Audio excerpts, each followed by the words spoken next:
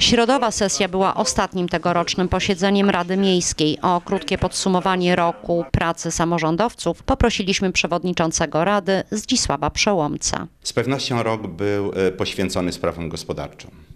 Gospodarczym, konkretnie rzecz e, biorąc inwestycjom.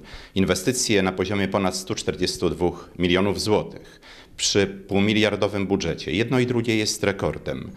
To inwestycje, na które czekaliśmy latami.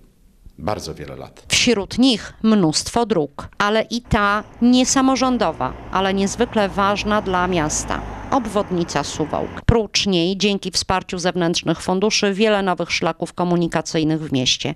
Kilometry ścieżek, arena. Długo by wymieniać.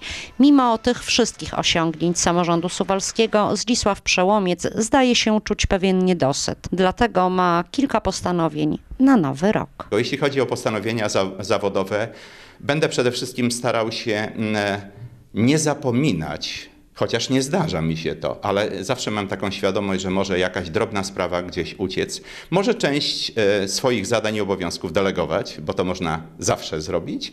No i postanowienie przede wszystkim takie, żeby móc reagować i odpowiadać na zapytania mieszkańców, również z udziałem środków masowego przekazu, a dzisiejsze nasze spotkanie tego dowodzi, bo jest to jedna z najlepszych form dotarcia do mieszkańców i poinformowania o mm, pomysłach lub też o realizowanych zadaniach. Pewnie więcej jest e, e, tych pomysłów i oczekiwań od siebie. Stawiam z reguły e, wysoką poprzeczkę sobie, jeśli chodzi o wymagania, i mam świadomość, że zrealizowanie to, o czym mówiłem, też będzie wyzwaniem.